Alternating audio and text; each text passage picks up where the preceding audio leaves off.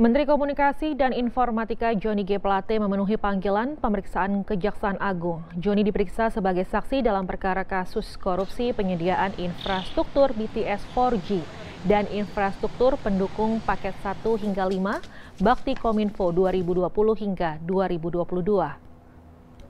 Selasa pagi, Kejaksaan Agung memeriksa Menkominfo Johnny G. Plate di Gedung Bundar Jaksa Agung Muda Tindak Pidana Khusus atau Jampitsus Kejagung. Joni diperiksa sebagai saksi dalam perkara kasus korupsi penyediaan infrastruktur BTS 4G dan infrastruktur pendukung paket 1 hingga 5 Bakti Kominfo periode 2020 hingga 2022. Pemanggilan ini merupakan panggilan pemeriksaan Joni yang kedua.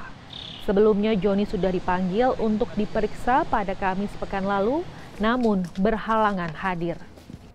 92 menit ya, kalau saya lihat dari kehadiran beliau, hari ini lagi sedang dilakukan pemeriksaan.